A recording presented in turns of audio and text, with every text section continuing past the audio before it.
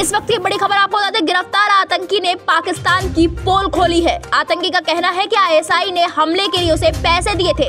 जम्मू कश्मीर के राजौरी से आतंकी को दबोच किया गया। पूछताछ में आतंकी ने चौंकाने वाले खुलासे किए हैं। आईएसआई के कर्नल ने आतंकी को पैसे दिए थे। आतंकी का ऐसा कहना है, भारतीय सेना की चौकी पर हमले के लिए उसे पैसे दिए गए थे। कर्नल ने आतंकी को तीस हज़ार रुपए, पाकिस्तानी रुपए दिए थे। बताया जा पीओके के कोटली सब्जकोट गाँव का रहने वाला है आतंकी।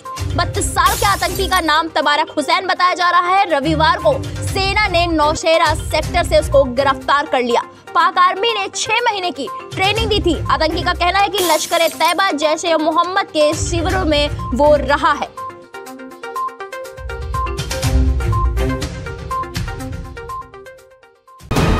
वीके न्यूज़, राष्ट्र के नाम।